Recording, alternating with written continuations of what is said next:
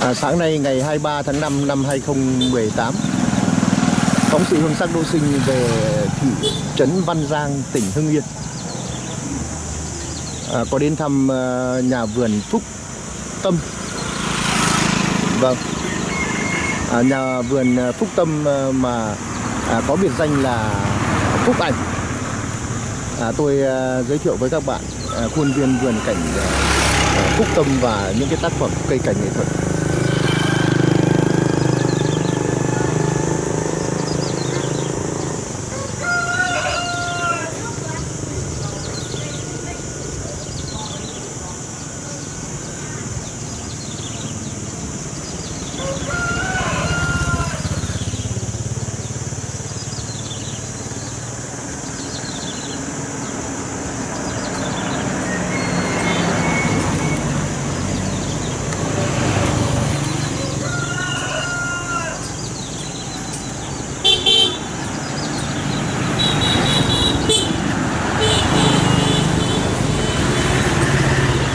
Bây giờ chúng ta cùng nhau ờ, à, đi vào tham quan à, khuôn viên vườn cảnh Phúc Tâm.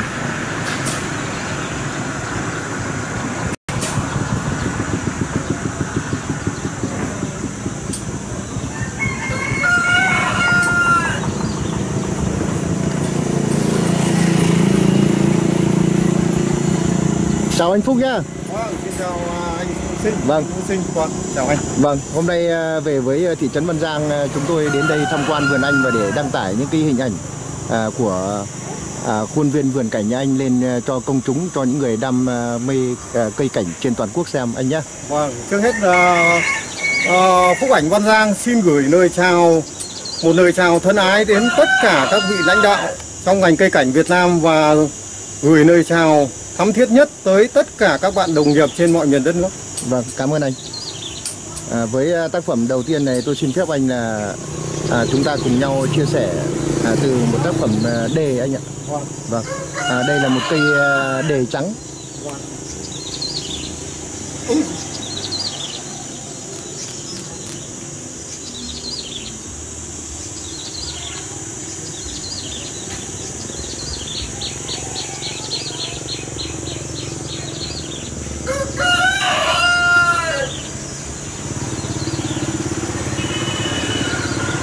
Với tác phẩm à, đề trắng này thì anh có điều gì tâm sự với à, à, những người à, yêu sinh vật cảnh không anh? Ờ, tôi à, trước hết là này, à, gửi lời cảm ơn tới à, chủ nhân cũ của cây là một anh bạn quê ở Bắc Ninh. Vâng, Thế thì à, tôi à, năm 2006 tôi à, bắt đầu mới vào nghề cây tháng 4 năm 2006 và cũng là lần đầu tiên tôi biết đến gia đình anh bạn ở trên Phú Lâm. Thế lúc đấy là tôi mua được của gia đình là một cây nục vừng, một cây xanh và một cây nục vừng và một cây xanh tôi đã bán rất là nhiều tiền. Thế còn cây đề này thì thực sự ra mà nói rằng là rất là xuất phát từ tình cảm. Anh bạn tôi lại tiếp tục để cho tôi cây đề được sở hữu. Cây đề này tôi biết từ năm 2006. vâng, nhưng mà gia đình thì bảo rằng là cái bộ sưu tập của gia đình là gia đình không bán nhưng trong quá trình không bán đấy thì ờ, đến lúc mà rồi anh bạn chơi lâu quá thì vừa rồi là cũng rất là, là quý quý nhau cho nên là anh bạn đã nhượng lại cho mình sở hữu đấy. Cây này thì ờ, mình ờ, tâm huyết. Cái thứ nhất là nó là một cây cổ lâu năm, thì ờ, năm 2006 thì mình đã thấy nó gần như là như thế này anh bạn. Anh cũng cũng không tác động vào nó nhiều. Nhưng mình mua của anh bạn về mình mới sửa sang qua qua thôi, chưa được chưa được nét lắm. Thế nhưng mà cây của nó là một cây cổ. Nhưng mình quý nó ở cái chỗ là tất cả anh bạn anh đã dành cho mình những cái tình cảm, những cái gì mình thích mà bạn mình đã chiều được mình mình rất là trân trọng à, thế từ khi anh mua về thì toàn bộ à, đề và cái chậu này vẫn giữ nguyên anh? vẫn giữ nguyên tất cả nguyên khuôn khổ của nó từ trước nay vẫn thế này À, như vậy là chúng ta quan sát luôn cả một cái chậu cổ ờ, mà tác phẩm đề đã ngự trên đó Ờ, rất là tuyệt vời. có từ bao giờ nhưng mà năm 2006 là bắt đầu vào nghề cây đến với gia đình nhà anh bạn đầu tiên đấy là đã có cái chậu này và đi đi với cái cây này rồi Vâng. đây các bạn nhìn thấy tất cả khuôn cái khuôn bệ nó nằm này đấy và à, tất cả số ờ, bệ rễ à, rễ của đề đã tràn kín hết mặt rộng. Vâng thành khuôn rồi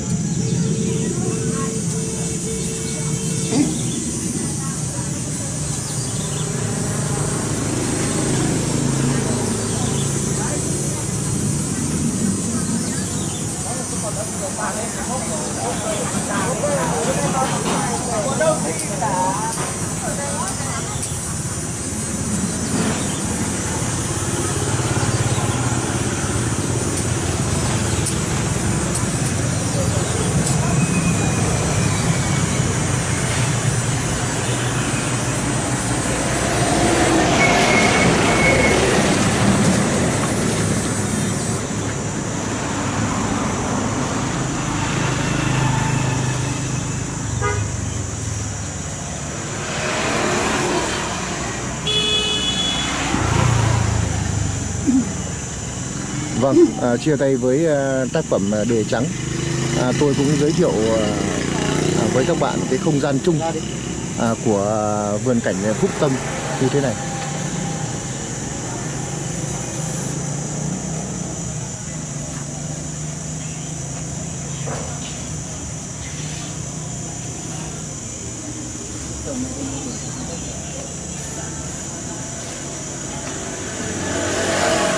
Hoa mình thấy nhặt nhặt hết cái xuống.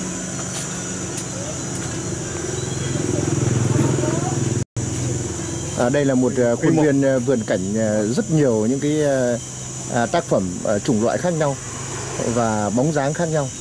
À, tôi cảm thấy là đây là một à, khuôn viên vườn cảnh rất là phong phú về chủng loại, về dáng thế cốt cách. À, chứ không phải à, chỉ có đơn thuần là à, xanh si. À, với những cái à, thước phim đầu tiên tôi sẽ giới thiệu với các bạn cái không gian chung như thế này.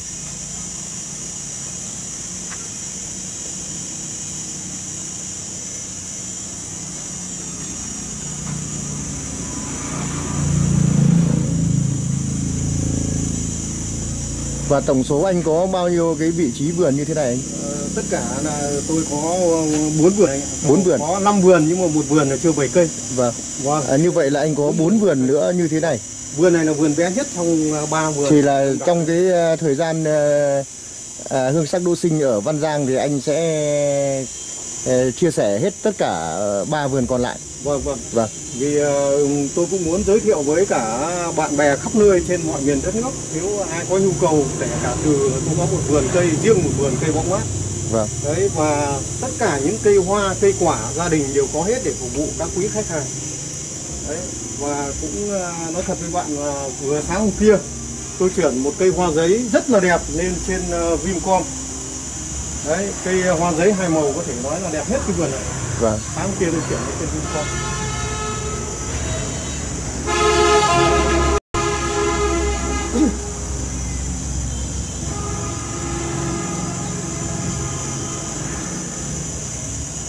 À, đây là khuôn viên à, à, vườn thứ nhất. Vâng. À, tôi à, giới thiệu với các bạn à, à, tổng thể. À, sau đó chúng ta sẽ đi à, lấy hình ảnh của những cái tác phẩm à, à, đặc biệt.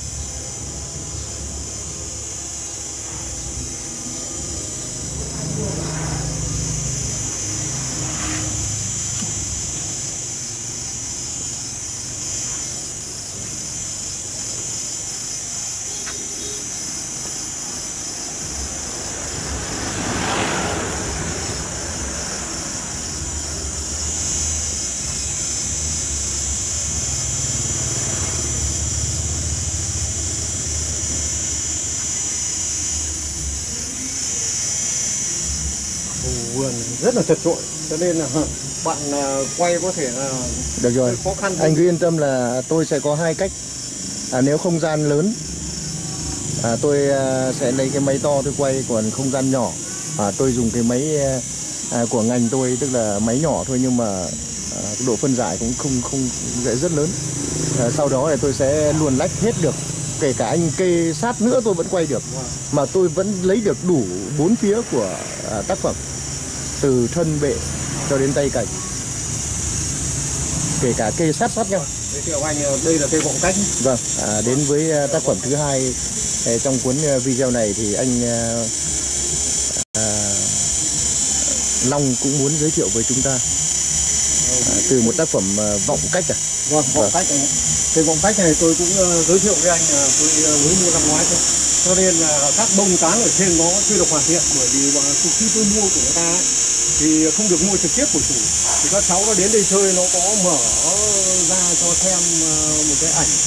Tôi xem ở trên máy điện thoại của các cháu và tôi đặt luôn, tôi ờ, hỏi giá tiền.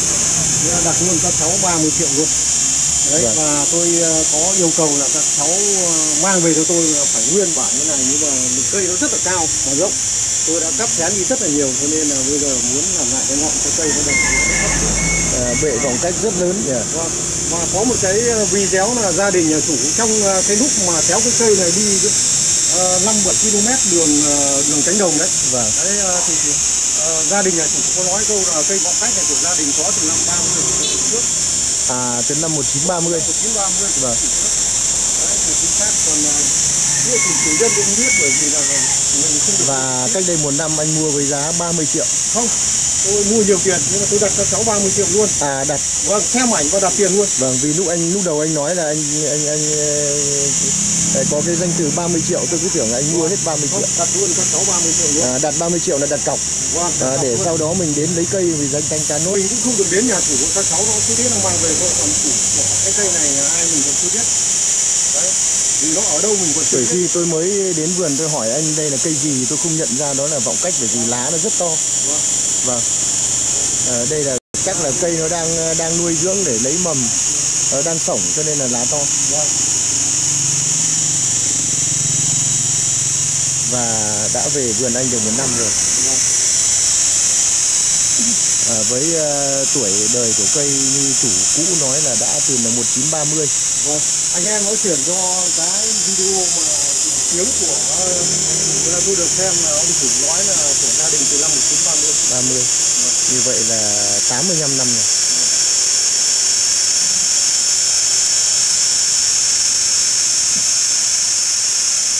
tám mươi ờ, nếu năm 30 thì chỉ còn có 12 năm nữa là để 100 năm. 88 năm.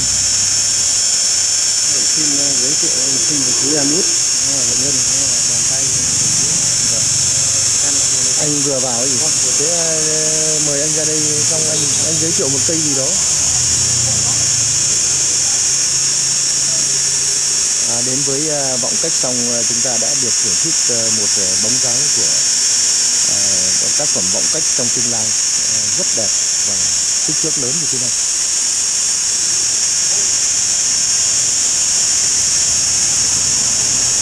chia sẻ ờ, vọng cách chúng ta cùng nhau thưởng thức ờ, một tác phẩm dưới. Cái dưới này cũng ờ, mới mua của anh bạn trên bắc cạn vâng. Hôm đi chơi anh bạn ấy ờ, thấy từ dưới thích quá anh bạn đấy. Là rồi cũng mới sửa được sơ sơ qua cái nước đầu. Thôi. à, đây cũng là à, những à, tác phẩm dưới có thân quái.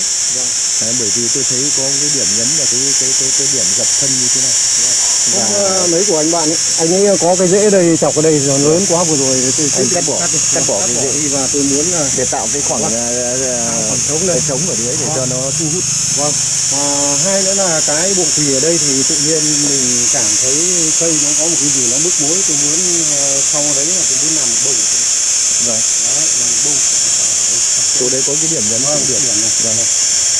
Mà sau khi nó liền sẹo chỗ đấy nó trở thành cái vẻ đẹp. Vâng.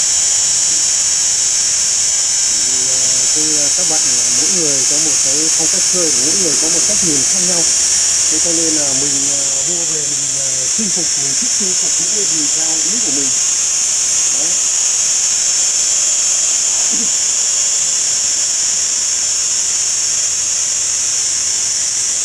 Đây này, hai mặt đều là tôi có một cây dưới ờ, chỉ khoảng độ ờ, 25 đến 30 triệu thôi. À, dưới ờ, à, dáng hoành rất già thân đen kỹ à, tí đã tôi giới thiệu cho nếu anh thích thì anh về trên Ba Vì tôi bảo anh bạn để lại cho. Thì anh ấy đang xây nhà anh giải tán mặt bằng. Ít người biết đến. Tí tôi cho anh xem hình ảnh anh ấy đang bảo khoảng 30 triệu nhưng mà tôi mua chắc chỉ tầm khoảng 20 đến 25 và tôi mua giúp anh. Cây dưới đường kính to một tầm một với và treo những cái lồng chim cào màu trên rất đẹp. Nó cái tay hoành vươn ra xa xa mà bông tán làm rất gọn, rất đẹp rồi đây là cây trứng gà. À vú sữa. Vâng vâng hôm ờ, chuyển ở trong thanh hóa về nó bị vỡ chậu đưa sang cái chậu này nó to quá. À, anh đem vào thanh hóa để không hôm ấy ờ, vào thanh hóa mua à, mua trong mua nó từ hôm mà. Mình mới ờ, sửa mua hôm trong tết. Mới sửa đưa vào vỡ cái chậu nó tiện cái chậu này. à, một tác phẩm hoa giấy. Hoa- giấy này ờ, sáng nay tôi vừa mới đang sửa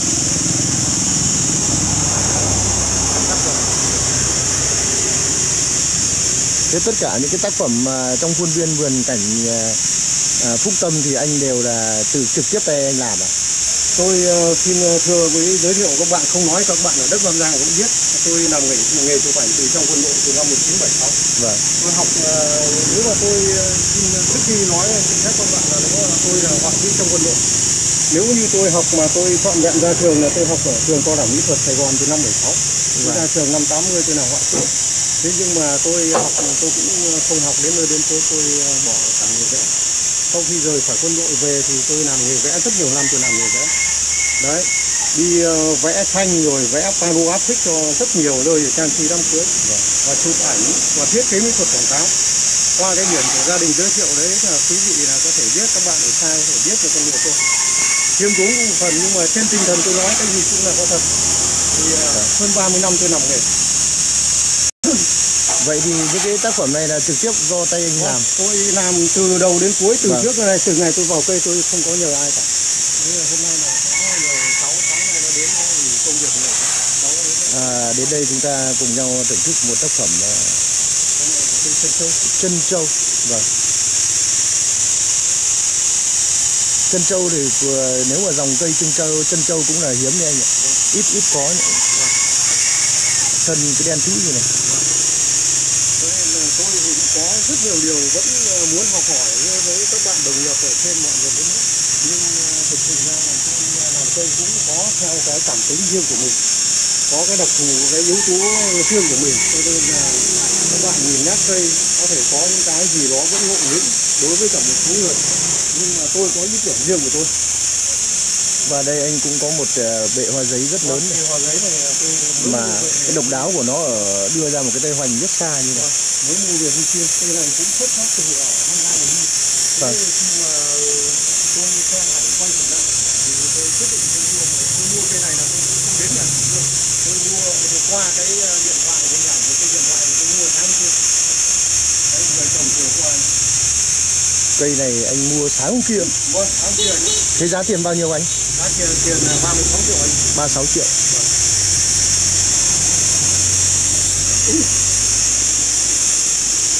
như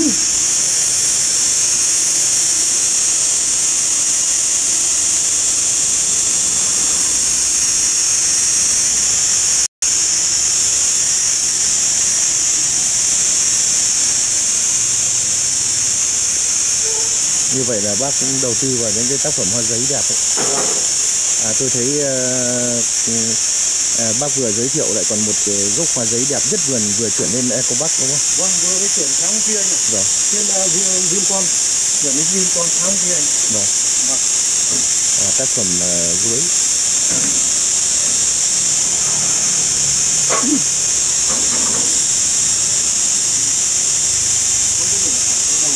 Vâng, và để kết thúc ờ, video thứ nhất ờ, chúng tôi giới thiệu với ờ, các bạn vườn cảnh ờ, Phúc ờ, Tâm ờ, tại thị trấn ờ, Văn Giang. À, chúng ta cùng nhau ờ, thưởng thức ờ, tác phẩm đa.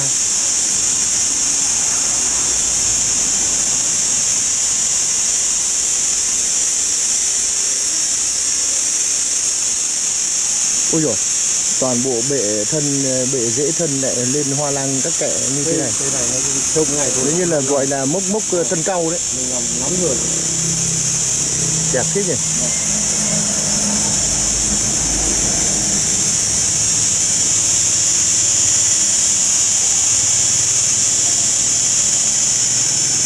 chia thành 5 thân 8 ra đều các phía mà lá đa đã đến mức độ cô nhỏ lại như thế này rồi.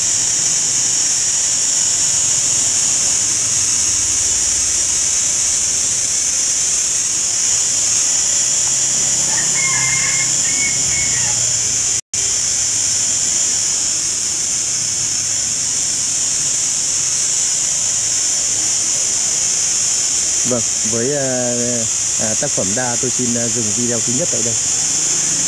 À, để mời đến à, các bạn à, chúng ta tiếp tục theo dõi những video sau à, chia sẻ à, vườn cảnh Phúc Tâm, thị trấn Văn Giang, Hưng Yên.